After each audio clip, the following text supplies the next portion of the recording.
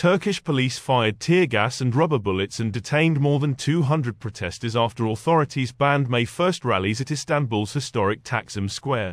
More than 40,000 police were deployed across Istanbul, blocking even small side streets with metal barriers in an attempt to prevent protesters gathering. Police clashed with demonstrators near City Hall in the Saraçhane district, firing tear gas and rubber bullets to stop protesters breaching barricades.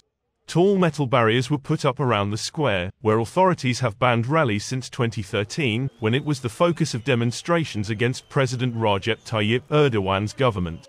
In 2023, Turkey's top constitutional court ruled that the closure of Taksim Square for protests was a violation of rights.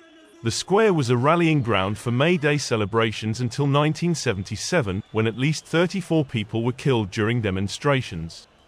Authorities opened it up again in 2010, but it was shut again after the 2013 protests. Erkan Bas, lawmaker and chair of the Workers' Party of Turkey said, the government is carrying on with their mentality of using oppression as part of the governing strategy.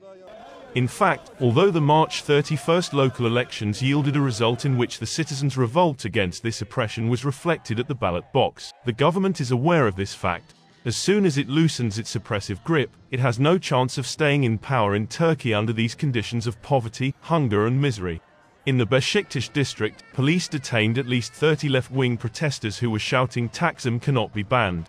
Turkey's main opposition Republican People's Party and unions had pressed the government to open the square for labor rallies but Erdogan warned against any provocation.